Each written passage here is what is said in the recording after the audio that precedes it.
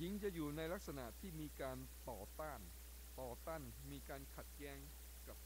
ผู้ซึ่งเป็นสามีทำไมครอบครัวหลายครอบครัวจึงมีปัญหาการต่อสู้มีการขัดแย้งกันระหว่างผู้ซึ่งเป็นสามีกับผู้เป็นภรรยา นี่ก็เป็นผลที่ต่อเนื่องมาจากตั้งแต่สมัยปฐมกาลในเรื่องที่พระเจ้าทรงพิพากษา แต่ว่าเราพบว่าในที่สุด พระเจ้าก็ทรงเข้ามาช่วยเหลือ เพราะว่าเรื่องจากเนื่องจากชีวิตของหญิงนั้น ไม่ใช่ถูกแช่งสาบการถูกแช่งสาบหมายถึงว่าจะเป็นโทษที่จะติดตัวเขาไปตลอดชีวิตชั่วนิดนิรันดรไม่มีการสิ้นสุด แต่ในแง่ของหญิงนั้นจริงอยู่ถูกรักษาให้มีความทุกข์ยากลำบากในการตั้งครรภ์และในการคลอดบุตรแต่เราพบว่าต่อมาพระเจ้าก็ทรงเข้ามาช่วยเหลือในพระธรรมหนึ่งทิโมธีบทที่สอง ข้อที่ 15 ได้มีการกล่าวถึงว่า ในที่สุดหญิงก็จะรอดได้ ด้วยการมีบุตร นั่นหมายความว่าหากหญิง มีการต้อนรับพระเยซูคริสต์เป็นพระผู้ช่วยให้รอด หญิงนั้น จะมีชีวิตที่จะรอดพ้นออกมาจากความพินาศถ้าหากว่าหญิงยังคงดำรงอยู่ในความเชื่อในความรัก และในความบริสุทธิ์ และก็มีชีวิตที่สงบเสงี่ยม เราพบว่าในที่สุดนะฮะ สิ่งซึ่งเดิมเคยเป็นความทุกข์ทรมานนั้น แต่ต่อมาพระเจ้าก็ทรงช่วยเหลือให้หญิงทั้งหลายพ้นออกมา ทรงไถ่หญิงให้รอด หญิงที่มีความเชื่อ มีความรัก มีความบริสุทธิ์ เขามีโอกาสรับประสบการณ์แห่งพระพร เขามีโอกาสให้กำเนิดใครต่อใครในโลกนี้ และนอกจากนั้นเขาเองก็มีประสบการณ์ที่พ้นออกมาจากความเจ็บปวดทุกทรมาน ในเรื่องที่เกี่ยวข้องกับการตั้งครรภ์หรือเรื่องที่ต้องเกิดขึ้นในชีวิตของหญิงในทุกเดือนทุกเดือน ทีนี้ให้เรามาดูถึงเรื่องที่เรากล่าวถึงในวันนี้ซึ่งเกี่ยวข้องกับมนุษย์ชาย มนุษย์ชาย สิ่งซึ่งเป็นเรื่องที่พระเจ้าทรงพิพากษามนุษย์ชายภายหลังจากที่มนุษย์ชายนั้น แทนที่จะเชื่อฟังตามคำของพระเจ้า แต่ฟังคำของหญิงซึ่งถูกล่อลวงด้วยงูเช่นเดียวกันมนุษย์ชายในตัวของมนุษย์ชายเอง ถูกพิพากษา เขาเองจะต้องรับผลเลวร้ายยังไงบ้าง ในพระธรรมปฐมกาลบทที่ สามข้อที่ ข้อที่สิบเจ็ดพระเจ้าไม่ได้ทรงพิพากษามนุษย์ชาย แต่เหตุที่เกิดจากเนื่องจากการกินผลไม้นั้นพระเจ้าได้สาบแช่งแผ่นดิน เมื่อพระเจ้าทรงสาบแช่งแผ่นดิน มนุษย์นั้นก็ต้องอยู่ในสภาพที่ทำให้ตัวเองนั้นมีความทุกข์ลำบากตลอดชีวิต ในตัวของมนุษย์ชายนั้น รับผลแห่งการพิพากษาคือว่าเขาจะต้องหากินบนแผ่นดินด้วยความทุกข์ลำบากจนตลอดชีวิต นี่คือคำพิพากษาที่พระเจ้า ได้พิพากษาบรรดามนุษย์ชายทั้งหลาย ตั้งแต่เริ่มแรกจากพระธรรมปฐมกาลหากเวลาหญิงมีครรภ์เวลาหญิงคลอดบุตร มีความเจ็บปวดทุกทรมาน แล้วก็เป็นเรื่องที่ยากลำบาก มนุษย์ชายต้องรับผลที่ถูกพิพากษาก็คือว่าในชีวิต ตั้งแต่เด็กแล้วโตขึ้นมาเป็นดุมและจนกระทั่งชรามนุษย์ชายทั้งหลายจะอยู่ในสภาพอย่างนี้ เจ้าจะต้องหากินบนแผ่นดิน ด้วยความทุกข์ลำบากจนตลอดชีวิต และอีกเรื่องหนึ่งที่เกี่ยวข้องก็คือว่า เขาจะมีการขัดแย้งในเรื่องที่เกี่ยวข้องกับสัมพันธภาพ ในมนุษย์หญิงมีการขัดแย้งหรือมีการต่อต้านกันระหว่างภรรยากับสามี ส่วนมนุษย์ชายนั้น เขามีการขัดแย้งกับสิ่งซึ่งอยู่รอบข้าง ก็คือบรรดาต้นไม้พืชทั้งหลายจะเกิดหนามในนี้บอกว่าในข้อ 18 นะฮะแผ่นดินจะให้ต้นไม้และพืชที่มีหนามแก่เจ้า และเจ้าจะกินพืชต่างๆของทุ่งนา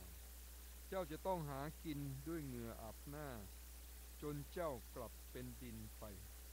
เพราะเราสร้างเจ้ามาจากดิน เจ้าเป็นผงคุยดิน และจะต้องกลับเป็นผงคุยดินดังเดิมนั่นหมายถึงว่าการพิพากษาของพระเจ้านั้น ไม่เพียงแต่ตนเองนั้น มีความทุกข์ยากในการหากินบนแผ่นดิน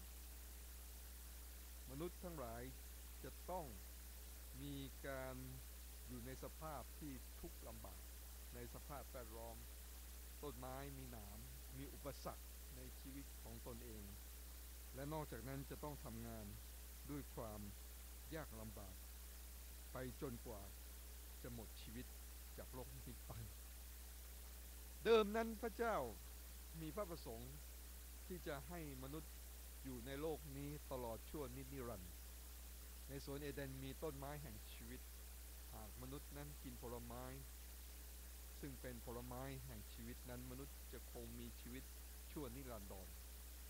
แต่หลังจากที่มนุษย์นั้นแทนที่จะกินผลไม้แห่งชีวิตกลับไปกินผลไม้ที่พระเจ้าสั่งห้าม ดังนั้นถูกไล่ออกมาจากสวนไม่มีโอกาสได้กินผลไม้แห่งชีวิตอีกเราจึงอยู่ในสภาพอย่างเนี้ยในนี้กล่าวว่าเพราะเราสร้างเจ้ามาจากดิน เจ้าจะเจ้าจะเป็นผงคุยดิน และเจ้าจะต้องกลับเป็นผงคุยดินดังเดิมเราพบว่าในเรื่องราวที่เกี่ยวข้องกับชาย ซึ่งผมจะพูดถึงในวันนี้ แล้วก็จะพูดถึงเรื่องบทบาทของชายที่เป็นพ่อนั้นก็มาจากเรื่องที่มีความสัมพันธ์กับประเด็นเหล่านี้ทั้งสิ้น ในเรื่องที่ชายจะต้องทำมาหากิน และชายนั้นจะต้องมีความยากลำบาก สังเกตเกี่ยวกับเรื่องของการถูกทดลองของพระเยซูดังที่ได้อ่านไปเมื่อสักครู่ ในพระธรรมแมทธิวบทที่ 4 พระเยซูถูกทดลองในเรื่องแรกที่เกี่ยวข้องกับอะไร เกี่ยวข้องกับเรื่องกินหลังจากที่พระเยซูได้มีการอดอาหารเป็นเวลา 40 วัน 40 คืนแล้ว พระองค์เริ่มต้นหิว มารก็มาผจญพระเยซู บอกกับพระเยซูว่าก้อนหินที่แลเห็นอยู่ที่ทะเลทรายนั้น ถ้าหากว่าพระองค์เป็นพระบุตรของพระเจ้าสั่งก้อนหินเหล่านี้ให้กลายเป็นอาหารกลายเป็นขนมปังเพื่อที่จะรับประทาน ในเรื่องราวของการถูกทดลองประการแรกของพระเยซู ที่บันทึกอยู่ในพระธรรมแมทธิวนี้ ก็เป็นเรื่องที่สมัยก่อน ตั้งแต่สมัยปฐมกาลที่พระเจ้าได้ทรงพิพากษา เป็นเรื่องที่เกี่ยวข้องกับการหากินหากิน แต่พระเยซูได้ตรัสอย่างไร เมื่อมาถึงเรื่องที่เกี่ยวข้องกับการหากิน หรือการกินขนมปังพระเยซูได้บอกว่าสิ่งที่สำคัญไม่ใช่อาหาร ในโลกนี้ที่จะรับประทาน แต่สิ่งที่สำคัญก็คือว่าพระองค์จะต้องบำรุงเลี้ยง รับการบำรุงเลี้ยงด้วยอะไร รับการบำรุงเลี้ยงด้วยพระวจนะทุกคำที่ออกมาจากพระโอษฐ์ของพระเจ้า รับพระวจนะของพระเจ้าที่จะบำรุงเลี้ยงชีวิตของตนเอง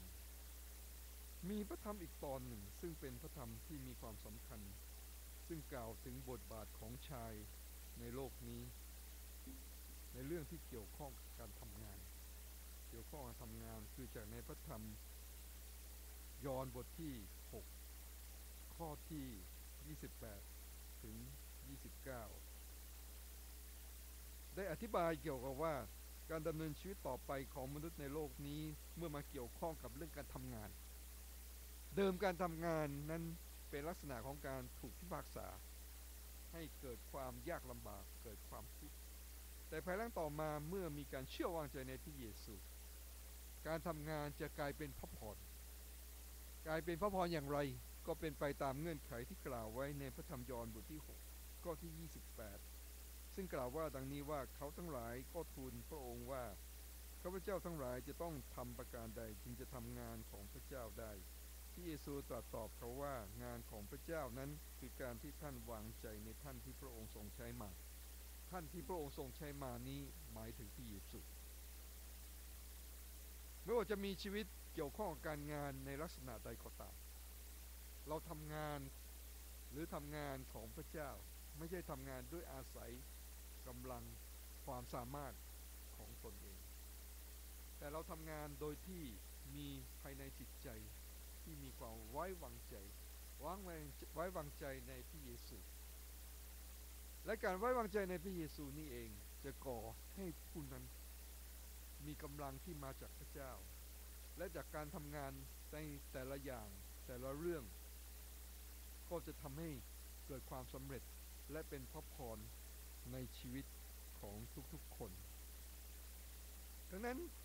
สิ่งซึ่งเป็นเรื่องจริงที่เกิดขึ้นในชีวิตของทุกๆคนที่เราควรจะตระหนักถึงเสมอ ดังที่กล่าวไว้ในพระธรรมปฐมกาลไม่ว่าท่านเกิดมาในโลกนี้เป็นมนุษย์หญิง หรือเป็นมนุษย์ชาย หรือจะเป็นมนุษย์ระหว่างชายและหญิงก็แล้วแต่ ทุกๆคนล้วนเป็นผู้ที่มีที่มาเริ่มต้นในลักษณะที่ถูกพระเจ้า พิพากษา ถ้าเป็นมนุษย์หญิง ถูกพระเจ้าพิพากษาให้มีความทุกข์ยากลำบาก มีความเจ็บปวดที่เกี่ยวข้องกับเรื่องของการตั้งครรภ์และการคลอดบุตร ถ้าเป็นมนุษย์ชาย ทุกคนที่เกิดมาในโลกนี้